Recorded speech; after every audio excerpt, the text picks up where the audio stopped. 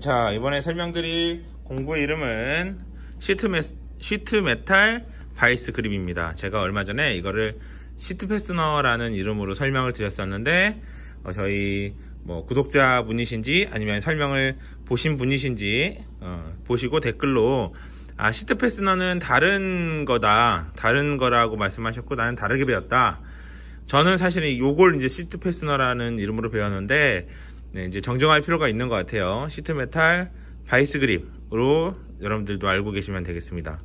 sheet metal vise grip. 그 sheet fastener는 제가 2000년도부터 쭉 그렇게 알고 왔어요. 네, 가르쳐 주신 분들도 그렇고, 네, 계속 그렇게 사용을 해왔기 때문에, 네, 되게 저도 고집이었죠. 찾아볼 생각을 했어야 되는데, 요거를 그냥 그대로 사용한 것 같습니다. 네.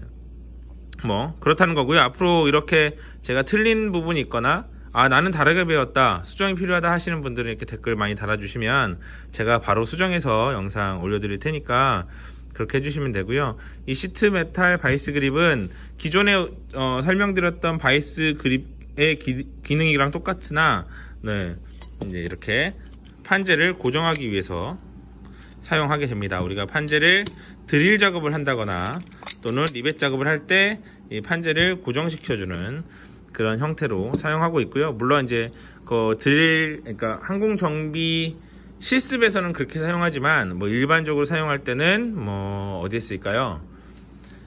어, 판재를 두 개의 판재를 꼭 잡아줘야 되는 그런 부분에 사용하기도 하고 용접할 때 사용하시는 것 같기도 하더라고요.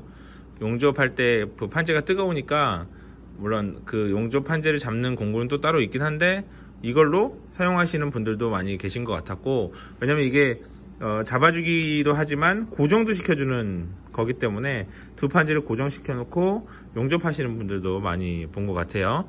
그래서 이제 어, 이제 우리가 사용하는 거 항공 정비로 사용했을 때는 판재 두 개를 고정하는 그런 형태로 사용한다. 네. 그 다음에 이건 lock이 된 상태고 이 아래쪽에 unlock 손잡이를 잡으면 unlock이 되고 네, 이렇게 하면 lock이 되고 unlock이 되고 이 앞에 주둥이는 여기는 screw로 조절할 수 있다. 네, 이렇게 알고 계시면 될 것 같습니다. 다시 말씀드리지만 정확한 명칭은 어, sheet metal vise grip 이렇게 알고 계시면 되겠습니다. 감사합니다.